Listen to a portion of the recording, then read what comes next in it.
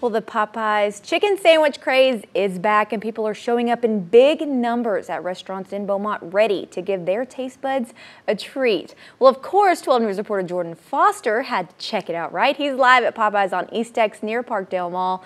Jordan, you're going to bring some back for us here, right?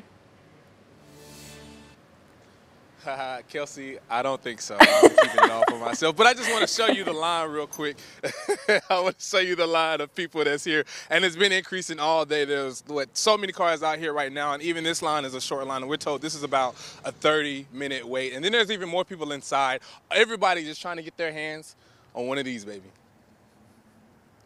If I know when my last meal is going to be, I know I'm going to die. Popeye's fried chicken's got to be my last meal. It's back and everyone is trying to get their hands on it. When I got here this morning, coming to work, they was already in the parking lot at 9.30. I'm like, oh my God. Popeyes was filled with people waiting to get that chicken sandwich, and many for the very first time. Well, the first time that I tried to get here and try it, it was sold out. So I could not try it. So whenever I heard it was back, I ran in here to try to get me one. Others like Helen Wotrek drove from Lumberton to make sure she got in on the chicken sandwich craze. We've got two or three fried chicken places over there, but not not Popeyes. And this is Davion Levine's second time this week. Fat. Put on there like the sauce and it's juicy. It's chin. I just love it.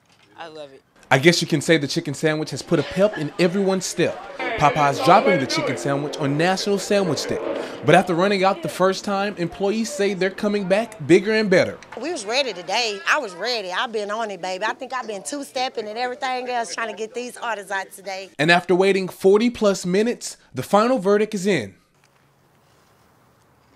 Mmm. Mmm. good. Mmm. Now this sandwich is good. This is some good. You zoom the camera in on this. This is some good stuff.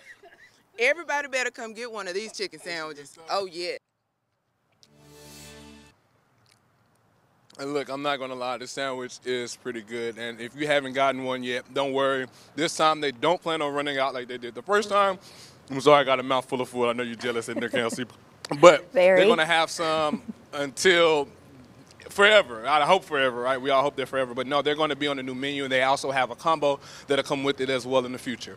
I'm live tonight in Beaumont. Jordan Foster, 12 News.